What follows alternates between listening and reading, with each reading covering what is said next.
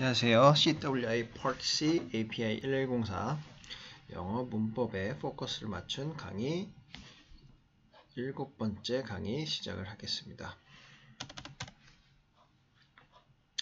지난 강의 때 5.3.2.2까지 말씀을 드렸고요. 오늘은 5.3.2.3 Diameters and Word Thickness에 대해서 설명을 드리도록 하겠습니다.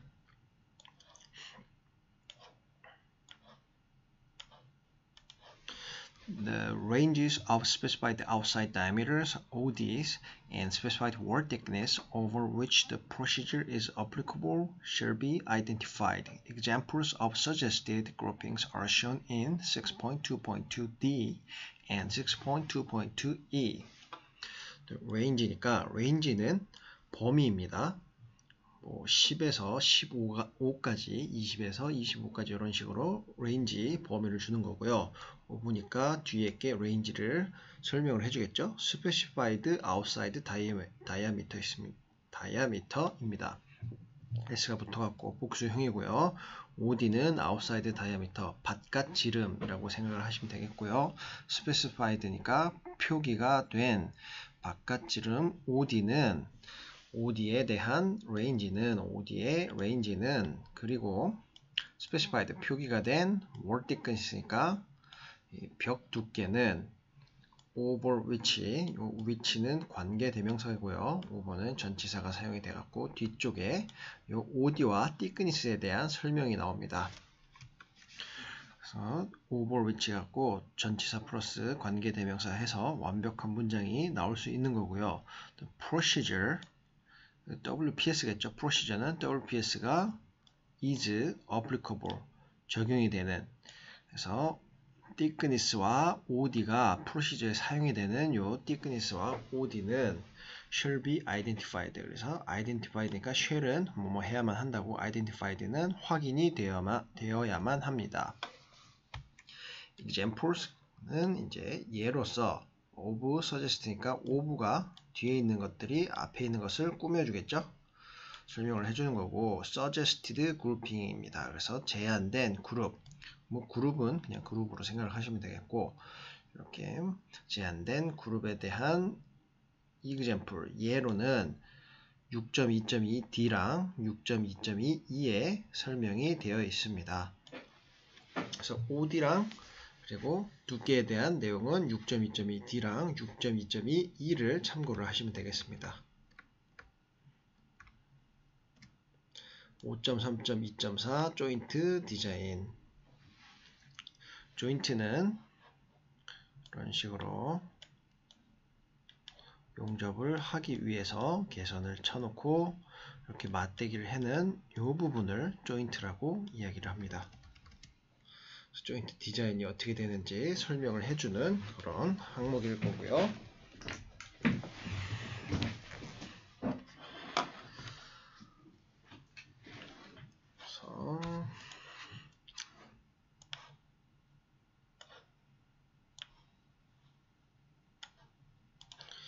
The specification shall include a sketch or sketches of the joint that show the angle of bevel, the size of the root face, and the root opening or the space between abutting members. The shape and size of fillet word shall be shown. If a backing is used, the type should be designated. The specification입니다. 여기서 specification은 위에서 얘기한 프로시저랑 똑같이 웰딩 프로시저 스페시피케이션 WPS를 이야기를 하고요. 그래서 이 스페시피케이션은 shall 해야만 하는데요. 포함을 해야만 합니다. 스케치를요. 그림을 포함을 해야 되는 거죠. 또는 sketches ES가 붙여갖고 복수 형태가 됐습니다. 스케치나 스케치들을 이렇게 그림을 포함을 해야 되는데요. of the joint입니다. of가 스케치를 설명을 해주겠죠. of 뒤에 게요. 조인트니까 조인트에 대한 그림을 이렇게 포함을 해야 됩니다. that이니까 that은 요 대은 뒤에 나오는 사항들이 요 조인트를 또 설명을 해줄 건데 그 조인트는 보여줘야 되는데 angle of bevel 베벨이니까 이렇게 생긴 조인트에서 베벨 요거 요 부분을 요 부분을 베벨이라고 합니다. 베벨 각도를 얘가 60도인지 30도인지 이렇게 베벨 앵글을, 앵글을 보여줘야 되고요. 그리고 size of the root face. root face니까 root face는 bevel을 해서 groove를 이렇게 만들어 놨으면 여기가 지금 떼어져 있을 거잖아요. 그래서 root의 초층, root를 초층이라고 생각을 하시면 되겠고요. root의 face란 이쪽 면을 이야기를 합니다. 그래서 root face의 사이즈를 이야기를 해야 되는데 또 그리고가 있죠 여기에. 그리고 루트의 오프닝. 루트의 오프닝이란 여기 벌어진 틈. 틈의 사이즈를 루트 오프닝이라고 합니다. 루트 오프닝도 이렇게 그림에 보여줘야 되고요. 조인트 그림에 보여줘야 되고요. 또는 또는 space between abutting members. 그래서 space between abutting member니까 이렇게 이렇게 돼 있을 때 이 space요. 이 space abutting member 이렇게 abutting member들이란 이렇게 같이 맞대 갖고 붙여버릴 수 붙여버릴 그런 멤버 예, 하나를 멤버 예, 하나도 멤버 해갖고 복수를 써서 members라고 합니다. 그래서 함께 붙일 그 멤버들의 간의 거리를 표기를 해주어야 합니다. shape size of fillet weld 그러니까 of가 있으니까 fillet weld가 사이즈랑 shape로 꾸며주는데 fillet weld의 사이즈와 shape은 shall be shown 그래서 스케치에 fillet weld의 사이즈랑 그 shape도 표기가 돼야 된다는 그 내용이고요. 만약에 if니까 어, back, backing, backing is used니까 만약에 backing이 사용이 된다면은 type shall be designated. 그래서 그 backing의 타입은 이렇게 표기를 데, designate는 이렇게 표기를 하다 디자인이 된 디자인에다가 요 nated가 붙었잖아요. 근데 이거는 뭐 디자인 nated 이렇게 읽진 않고 designate 이렇게 읽는데 요 backing이란 무엇이냐 이렇게 조인트가 있으면은 여기 루트가 뚫려 있잖아요. 그래서 요거를 흘러내리지 않게 용접을 하면 중력에 의해서 쇳물이 이렇게 흘러내리는 현상이 발생하는데 흘러내리지 않게 이런 식으로 하나의 plate를 덧대는 것을 backing이라고 하고요. backing의 타입을 designate 이렇게 표기를 해 주어라 이런 내용입니다. 5.3.2.5 Filler metal flux and number of bead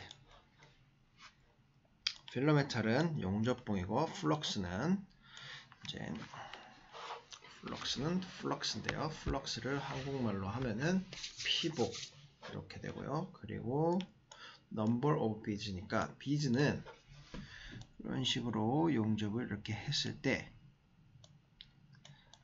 패스, 첫 패스, 두째, 셋째 해갖고 마지막까지 이렇게 용접을 해서 올리는 것을 볼 수가 있고 요 하나하나를 비드라고 이야기를 합니다. 그래서 number of bid니까 비드가 여기 위에서는 하나, 둘, 셋 이런 식으로 세 패스, 세 비드 이렇게 표현을 하고요.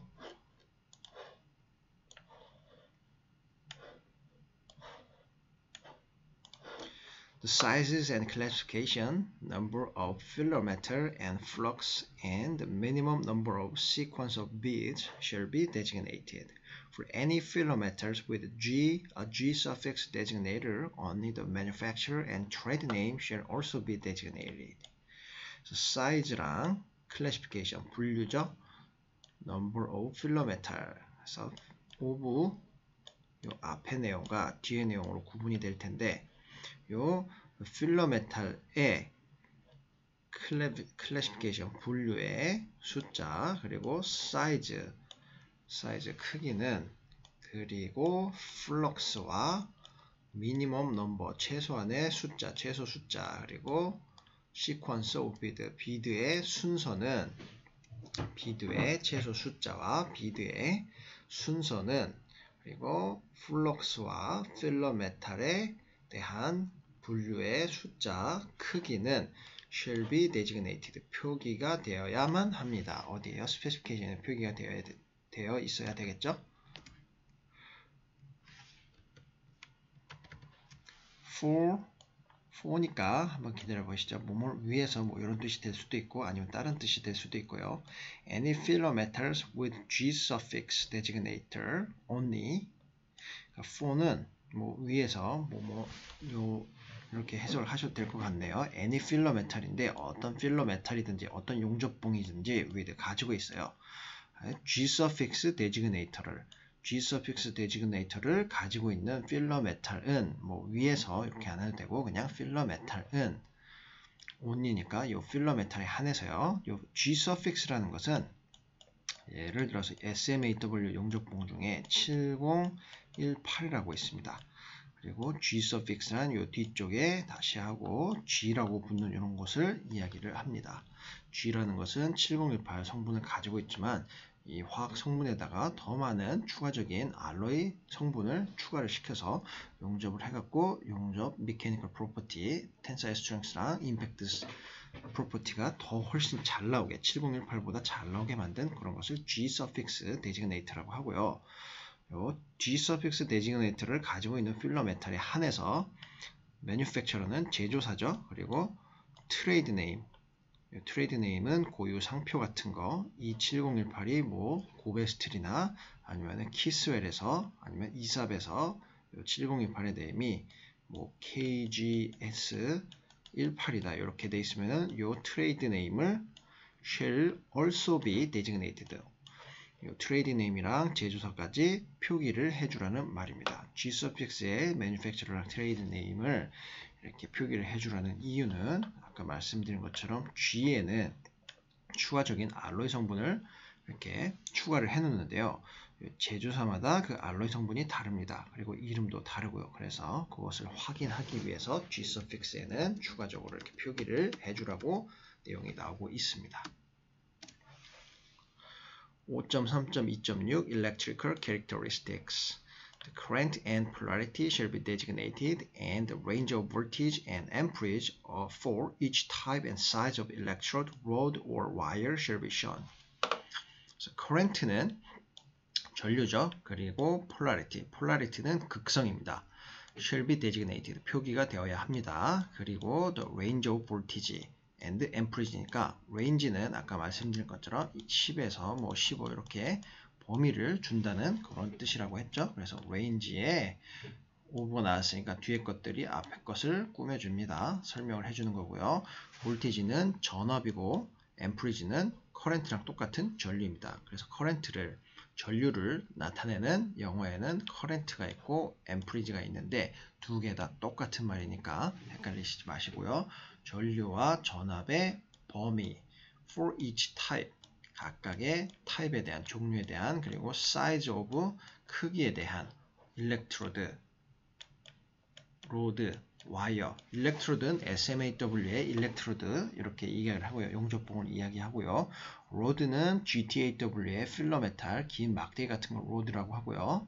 그리고 와이어는 GMAW, FCAW의 와이어 용접이 filler wire가 이렇게 용 와이어가 gun을 누르면은 이렇게 와이어가 모재를 치는 순간 아크가 발생하는데 이때 이 와이어를 이야기를 합니다.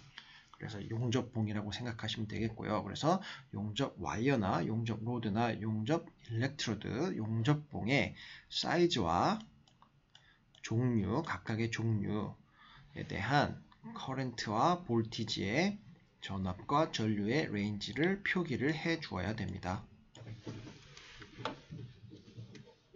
5.3.2.7 Flame Characteristics Flame은 불꽃이죠. Characteristic은 특징, 특성 이런 것이 되겠고요.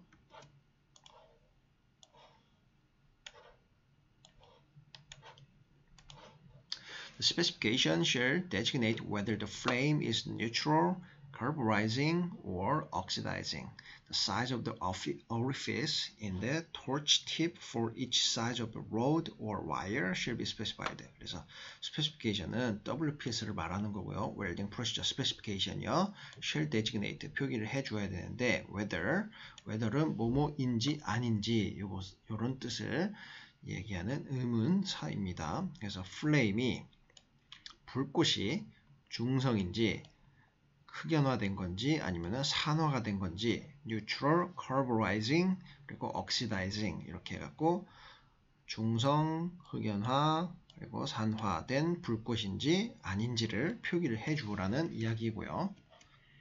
사이즈, 크기, 5분니까 뒤에 게 오리피스란 오리피스는 GTAW를 이렇게 이렇게 있으면은 여기에서 일렉트로드를 이렇게 꽂아 갖고 하는데 요 요것을 오리피스라고 하고요. 사이즈는 요 간격을 사이즈라고 합니다. 그래서 orifice, orifice의 사이즈 in the torch tip이니까 얘를 보통 토치라고 부르죠. 토치에 토치는 토치를 한국말로 하면은 제가 한국말로 토치가 뭔지 생각이 나지가 않네요. 토치는 이렇게 불이 나오는 부분, 우리 가스 버너 같은 거 사용할 때 불 나오는 부분을 그쪽을 토치라고 하잖아요. 그래서 토치의 팁, 토치의 끝 부분에 대한 orifice 사이즈를 each size of rod, 그러니까 각각의 rod의 GTAW 용접봉에 대해서 그리고 GMAW 와이어에 대해서 각각의 사이즈랑 그거에 대한 토치 팁, orifice 사이즈들 이것들이 specification에 welding specification에 표기가 되어 있어야 합니다. 이렇게 이야기를 하고 있습니다. 5.3.2.8은 포지션이고요. 포지션은 위치죠. 뭐 1G, 2G, 3G, 1F, 2F 이렇게 얘기가 되어 있고요. The specification shall designate role or position welding이니까 WPS는 designate, shall designate가 표기를 해 주어야만 합니다. role welding인지 포지션 웰딩인지 확인을 해줘야 됩니다. 롤 웰딩은 이렇게 파이프가 이렇게 있으면은 이 파이프가 계속 돌아가는 거예요. 이렇게 그래서 용접을 였다가 용접봉을 대고 있으면 알아서 이렇게 용접이 쭉 되는 그런 것을 롤 웰딩이라고 하고요. position welding은 파이프가 이렇게 있으면은 하나의 파이프를 두 개의 파이프를 맞대서 여기를 용접을 할때이 파이프가 축에서 움직이지가 않아요. 그래서 사람이 용접봉을 이렇게 돌려가면서 용접을 하는 그런 것을 position welding이라고 합니다. position welding인지 roll welding인지 표기를 해주라는 거고요. 5.3.2.9는 direction of welding. The specification should designate whether the welding is to be performed in an uphill or downhill direction. 그래서 specification은 WPS는 should designate 표기를 해주어야 하는데요. whether 뭐뭐인지 아닌지 용접이 수행돼야 되는 용접이 is to be performed니까 용접을 꾸며주는데 용접이 to be performed 수행이 돼야 하는 용접이 in an in an appeal이니까 뭐뭐 안에서인데 이거는 그렇게 그냥 딱 직역을 하지 마시고 on appeal.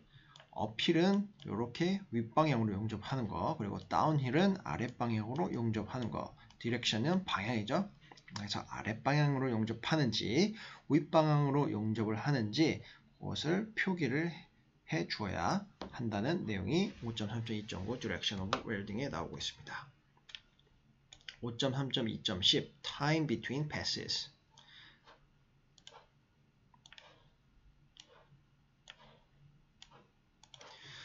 The maximum time between the completion of the root bead and the start of the second bead as well as the maximum time between the completion of the second bead and start of the bead shall be designated. 그래서 maximum은 최고죠. 최대 time, time은 시간일 거고 between 뭐뭐 사이입니다.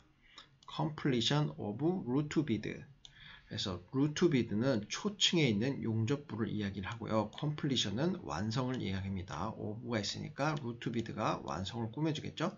root bead가 완성이 된 그래서 between이니까 root bead가 완성이 된 시간이랑 최대 시간이랑 그리고 the start of the second bead second bead를 시작한 시간 요 root bead를 완성한 시간이랑 second bead를 시작하는 시간 사이의 최대 간격, 최대 시간은 그리고 as니까 as well as는 또한 also 이렇게 해석이 된다고 했죠. 그리고 maximum time, 최대 시간 between completion of second bid니까 두 번째 비드를 완성한 시간과 뭐 사이에죠. Start of the other bid 세 번째 비드를 시작한 시간 사이의 최대 간격 시간은 shall be designated 표기가 되어야만 합니다. 스페시피케이션에 표기를 하라는 소리겠죠. 5.3.2.11 Type and Removal of Line-up Clamp 그래서 종류랑 그리고 제거 라인업 클램프란 파이프를 이렇게 두 개를 연결하는 데 있어서 좀 안 돼요. 그러면은 클램프라는 집게 같은 것을 사용을 해서 이 두 개를 확실하게 잡아주는 이런 것을 클램프라고 합니다.